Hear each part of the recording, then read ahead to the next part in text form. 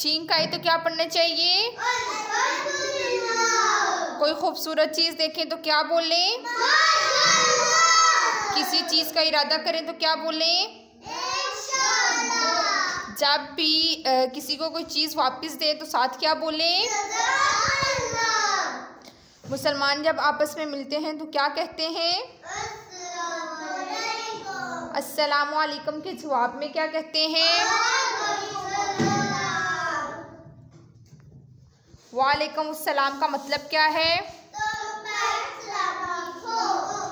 अस्सलाम वालेकुम का क्या मतलब है?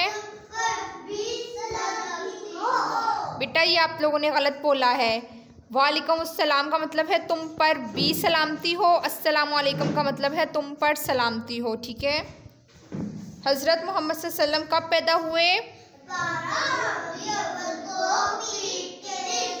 हज़रत मोहम्मद वसल्लम कहाँ पैदा हुए?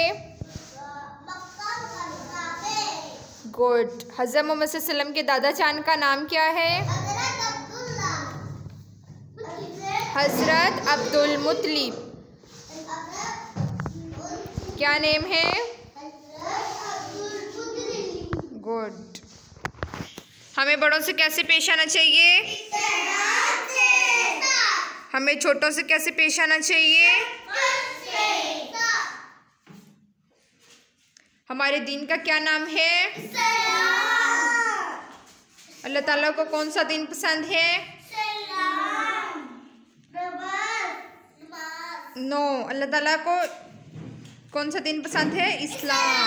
इस्लाम के मायने क्या है? मान लेना।